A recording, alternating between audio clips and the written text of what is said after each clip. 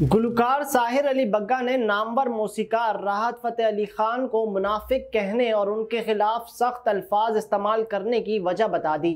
तफसीत के मुताबिक साहिर अली बग्गा ने फेसबुक पर तफसीली नोट लिखा। गुलकार ने लिखा कि वो एक कंपोज़र हैं जिस पर उन्हें फ़ख्र है। साथ ही उन्होंने तस्लीम किया कि इसमें कोई शक नहीं कि राहत फ़तेह अली ख़ान पाकिस्तान का बेहतरीन टैलेंट है।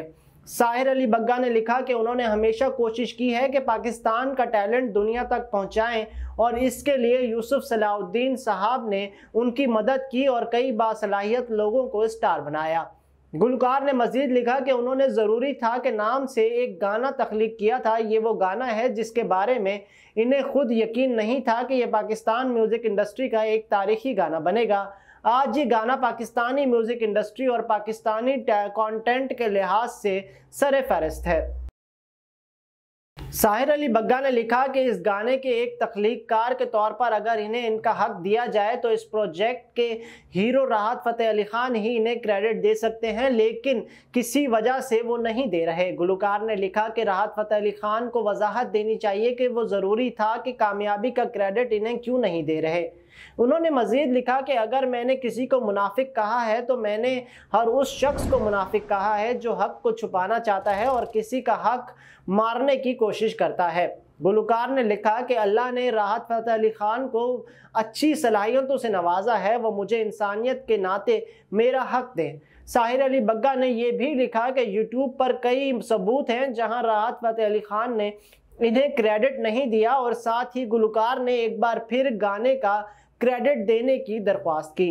उन्होंने लिखा कि वो चाहते हैं कि इन्हें आइडियलाइज करने वाले जूनियर अपने करियर में इसी तरह के मसाइल का सामना ना करें, जिनका सामना वो खुद कर रहे हैं। वाज रहे ज़रूरी था, को राहत फ़तेह अली ख़ान ने गाया है और इसे यूनिवर्सल म्यूज़िक के बैनर तले 2014 में रिलीज़ किया गया था। मस्कूरा गाने को यूट्यूब पर डेढ़ अरब बार तक देखा जा चुका है और इसे राहत फ़तेह अली ख़ान का मकबूल तरीन गाना समझा जाता है। मस्कूरा गाने की शायरी खलीलुररहमान कमर ने लिखी है, सलमान अहमद की तरफ़ से प्रोड्यूस किया गया है और राहुल सूद की तरफ़ से हिदायत दी गई है, जबकि मौसीकी साहिर अली बग्गा ने तरतीब दी थी। याद रहे कि सोशल मीडिया पर साहिर अली बग्गा की पोस्ट वायरल हुई थी, जिसमें वो गैर इखलाकी अल्फाज इस्तेमाल करते हुए राहत फ़तेह अली ख़ान पर शदीद तनकीद कर रहे थे। तहम उन्होंने इस तनकीद की वजह नहीं लिखी थी।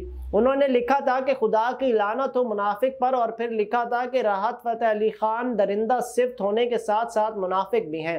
तमाम साहिर अली बग्गा ने अपनी ये स्टोरी फ़ौर ही डिलीट कर दी थी, लेकिन इस स्टोरी के स्क्रीन सोशल मीडिया पर वायरल हो गए थे। पोस्ट वायरल होने के बाद साथी गुलाकार पोस्ट वायरल होने के बाद साथी गुलकार अली ज़फ़र ने फेसबुक पर साहिर अली बग्गा को टैग करते हुए लिखा था कि, प्यारे भाई, साहिर अली बग्गा, मैं आपसे दरख्वास्त करूँगा कि मेहरबानी करके रमज़ान का एहतराम रखें। अली ज़फ़र की पोस्ट पर साहिर अली बग्गा ने जवाब देते हुए उनका शुक्रिया अदा किया और लिखा कि वो रमज़ान मुबारक के दौरान किसी बा, के बारे में कोई मालूम या सच्चाई शेयर करने के लिए माजरत हुआ है, इसीलिए वो अब पोस्ट डिलीट कर रहे हैं।